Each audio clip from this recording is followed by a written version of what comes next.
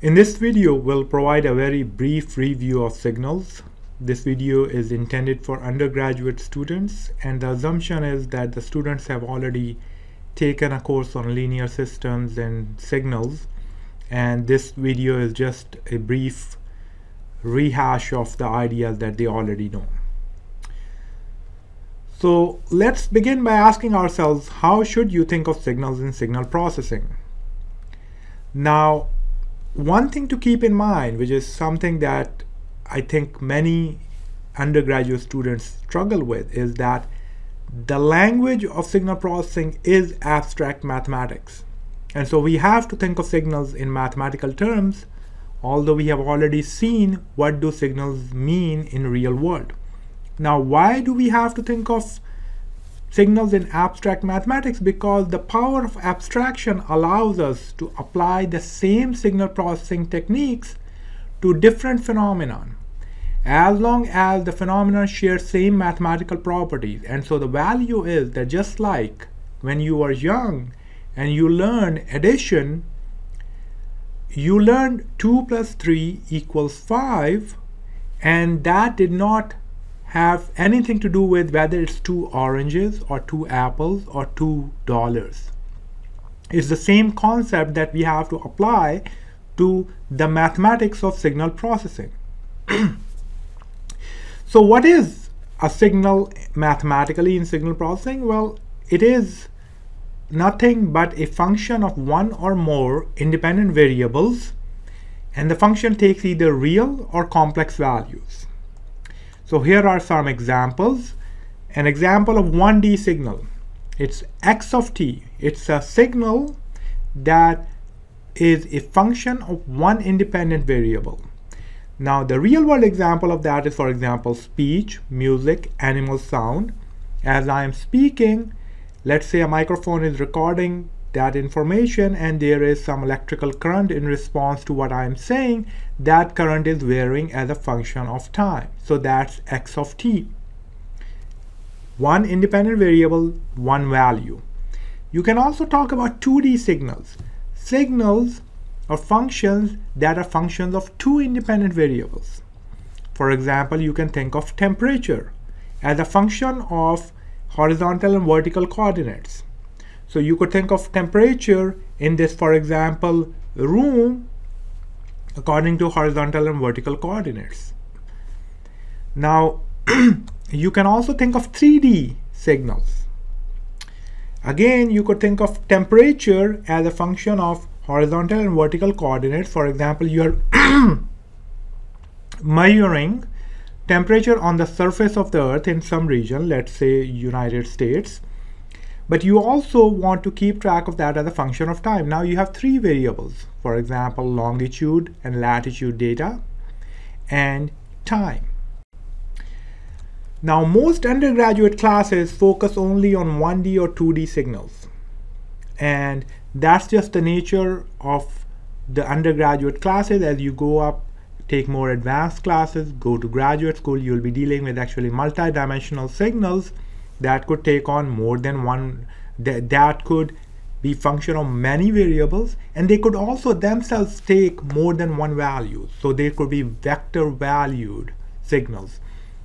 But at the undergraduate level we talk mostly about 1d or 2d signals.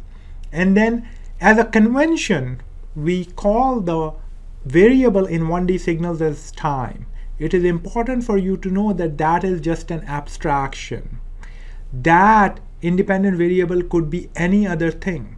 For example, you could be talking about, let's think of a thin strip. You are measuring temperature. You are thinking of how the temperature varies on this thin strip. And so now the independent variable is the location. So now it's distance.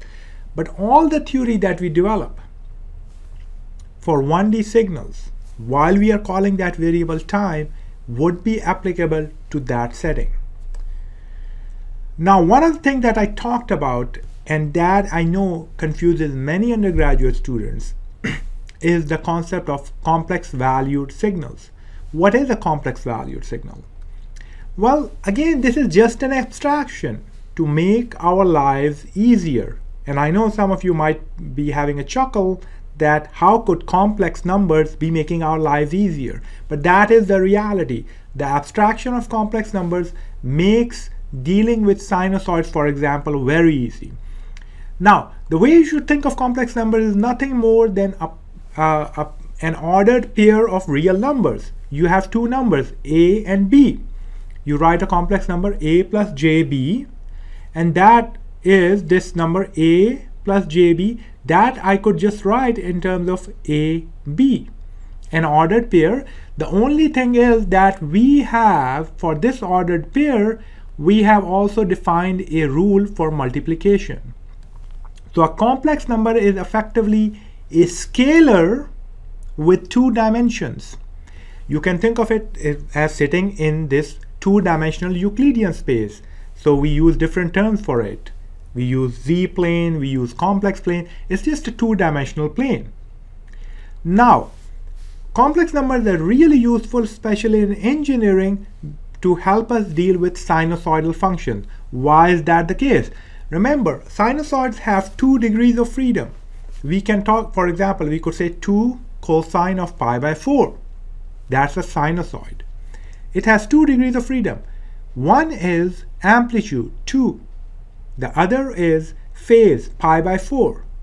So you either have to talk about magnitude phase or you could combine that information in just one complex number. For example, again taking the example of if I have 2 pi by cosine of pi by 4 so this is this is 2 right and I go up and I have this pi by 4 angle that I make.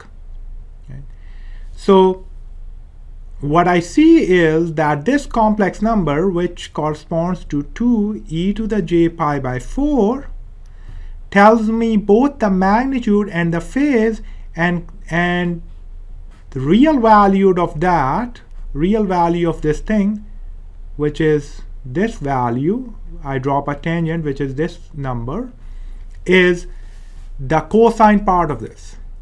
Now I'm sure you have seen many examples where you the analysis using sinusoidal functions using complex numbers becomes much much easier so again we are not going to go into too much details but I just want to remind you that complex numbers are really there to help us in our analysis it's an abstraction of a scalar with two degrees of freedom now if you are given a complex valued signal x of t, what that means is it's effectively two functions, at plus jbt. And what the way you should think of it is that effectively you are talking about two interlinked signals, at and bt, two functions, at and bt, that don't interfere with each other. One is the the horizontal axis, the other is the vertical axis or j-axis. And these complex value signals actually are, arise in many electrical engineering applications. You already get uh, familiar with them in your circuit analysis courses, but they also arise in communications. There we think of them as I and so if you ever do take communications course, you will learn about I and Q modulation or quadrature modulation. They arise in radar, they arise in MRI, and many other applications. Now, let's talk about two broad classes of 1D signals in the mathematical sense. The first class is that of continuous time signals. Now, going forward, I'm only going to talk about 1D signals. in a continuous time signal, the independent variable takes a continuum of values. That's what we mean by a continuous time signal. So the example is if x of t is a continuous time signal, it is only true if the independent variable, it's a statement about the independent variable. If t exists on some continuous interval and x of t is defined on that continuum, for example, sound. Now, an example of this is you have, so let's say this is your t-axis. Again, as I said, this is just an abstraction. And your signal is defined for all values of t. So pick any value, let's say this is minus 10 and let's call this 10. Pick any value of t between minus 10 and 10. So t belongs to minus 10 and 10. Pick any value in these two regions and you have a defined value of x of t.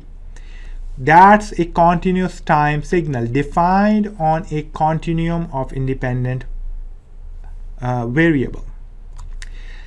In contrast to the continuous time signal, we have what's called discrete time signals. Now, discrete time signals, again, it's a statement about independent variables. So a discrete time signal is one in which the independent variable takes only a discrete set of values.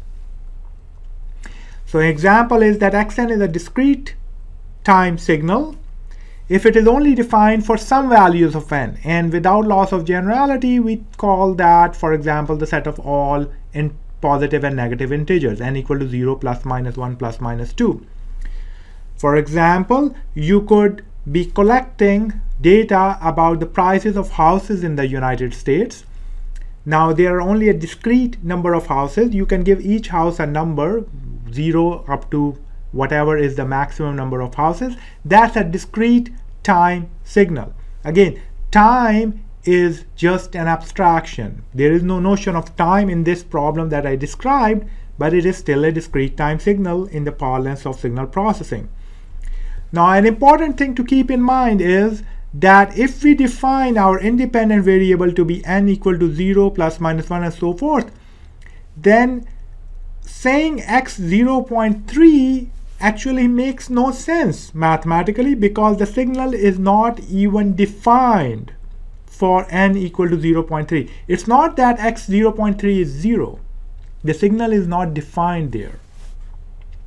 So if you take this example, you have basically, you put down different values of n and you have n equal to 0, 1, 2, 3, 4, minus 1, minus 2, minus 3, and you assign different values.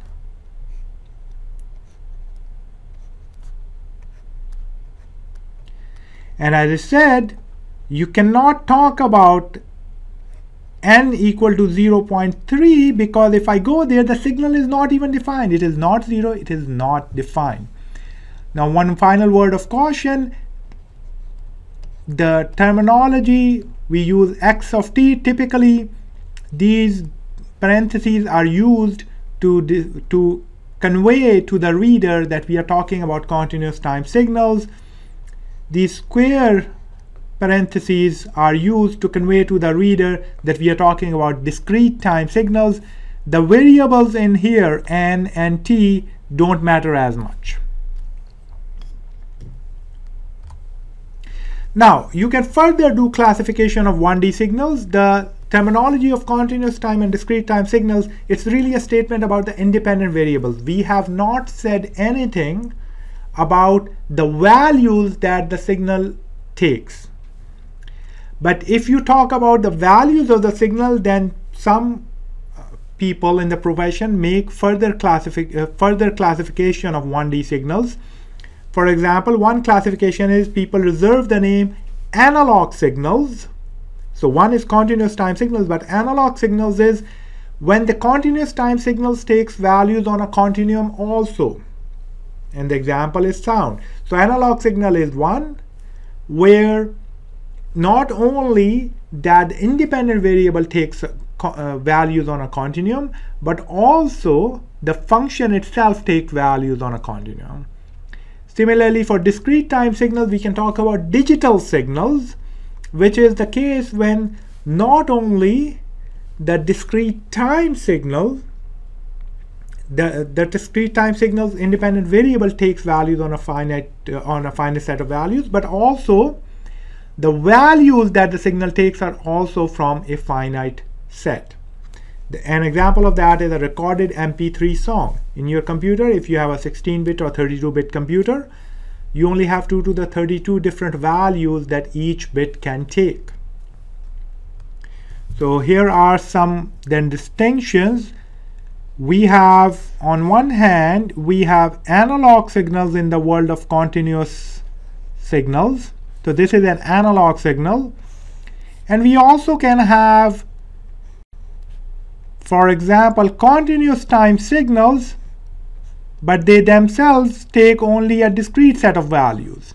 So again, you will notice that your signal is defined for all values of t, but the values it takes, for example, let's call this 2 and this 1 and this minus 2, the values it takes are only 3. Similarly, in the world of discrete time signals, you can have signals that themselves take only discrete values. So you could only you take values only on n equal to 0 1 2 and the values you take are only a discrete set. Minus 1 minus 2 so this is a digital signal then on as opposed to a discrete signal that is allowed to take any values